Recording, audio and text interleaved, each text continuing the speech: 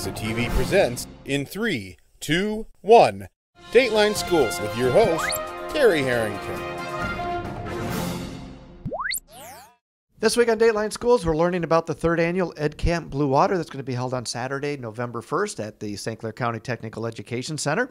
So, telling us about it, my special guest is the Educational Technology Specialist for Marysville Schools, Kit Harden.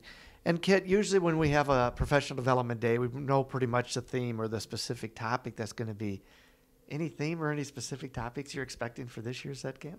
Well, since we rely on the participants to bring their own ideas, we don't have a specific theme, although we are really going to play with this idea of space and learning space design.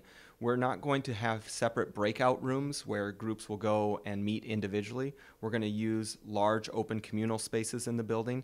We're asking people to bring camp chairs and yoga balls and to create more of a campfire atmosphere and to meet in much smaller groups, maybe around a small monitor or a projector, so that they can have a more intimate conversation. And s'mores are included, right? Yeah, absolutely.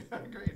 Do you do you find that uh, teachers really open up more when they have this kind of more informal and, like you said, more networking, more conversational type of PD?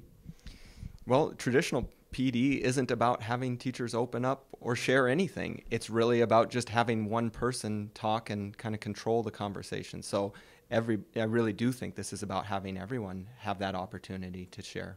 Yeah, you mentioned too earlier this week that this Ed Camp concept is uh, statewide. Do you find that you get people that come from not just from St. Clair County to, to the one here in Blue Water area?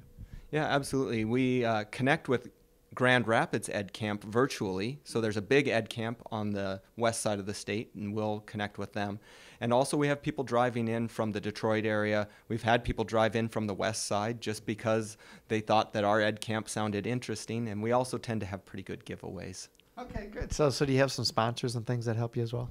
We do. Um, uh, RESA and the Technical Education Centers are big sponsors just in supporting us, but also the REMC organization of Michigan, and then uh, tech companies like TechSmith, which is a Lansing based company, and then some of the Web 2.0 companies that educators use will donate and sponsor our event as well.